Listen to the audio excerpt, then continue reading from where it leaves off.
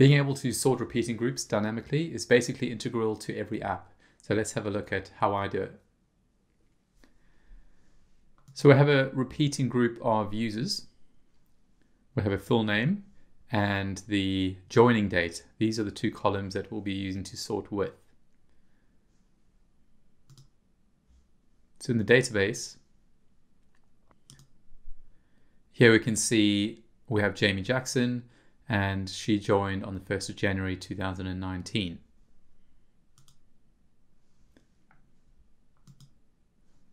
So here's my repeating group set to full list. So it will display the entire list on page load. And currently I have this input search here.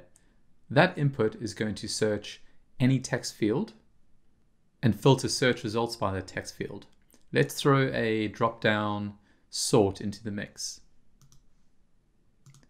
So I'm going to grab a drop down, going to position it on the right hand side.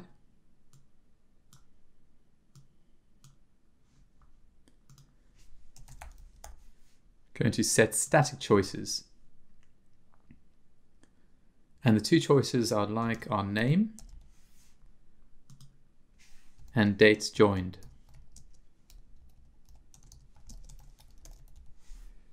Pay close attention to capitalizing words as this is necessary. It needs to be exactly the same when we are writing our expressions.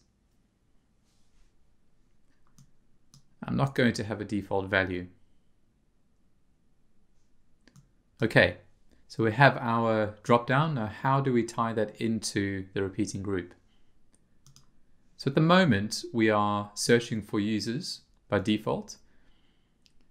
If the input search is not empty, so if there's some data in there, we'll be filtering by any field. But at the moment on page load, it will be empty and it will sort by created date. Let's have one last look.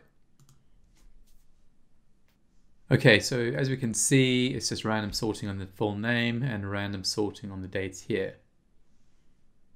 So what we need to actually do is change the data source. And how we do that is through a conditional. What we'll say is when the drop downs sort, when its value is, now let's say date joined, because by default I'm going to set the sorting on the name by default. and we'll change the data source. And let's copy and paste because we have some constraints in there I want to copy over. And all we need to do is sort by joining date and let's say descending, so the most recently joined people at the top of the list. And that's all we really need to do. Now in the appearance tab, let's set the data source by default to full name which means that when we we only have to write one conditional, which is date join, because the default will be the full name. So when we flick back to full name, it will remove that conditional and just revert back to the default full name. Let's see it in action.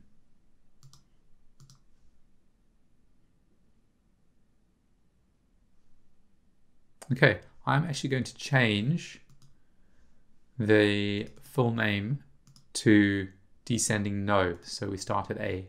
That's probably an expected function. Okay, so we're sorting by full name here. If I had to choose date joined, there we have June 6, 2020 at the top, June 3rd, 2015 at the bottom. If I then flick to the name, it's going to remove that conditional and just order by name and if I remove it altogether, it's still ordered by the name. What if we set creation date by default, then the name, and then the date joined?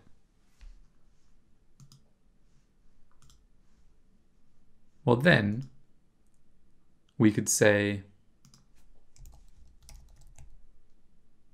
created date.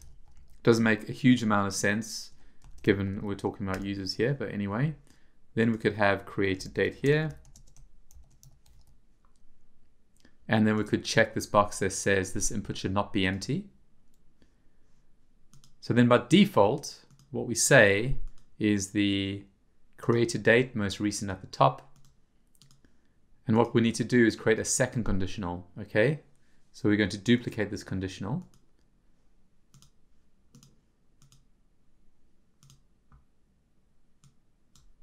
And this needs to say name. And then copy and paste the data source.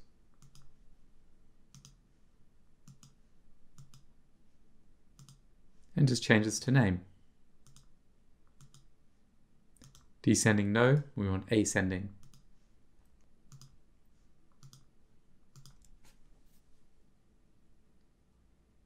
So random sorting because it's the creation date.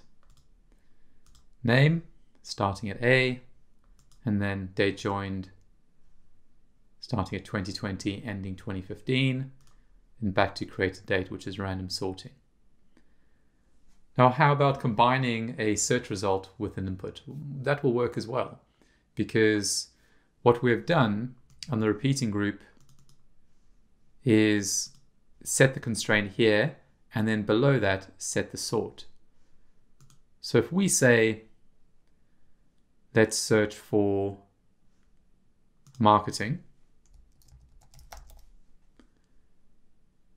here we have three results.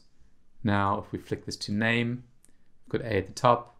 If we flick it to date joined, we've got 2019 at the top, and then back to create a date.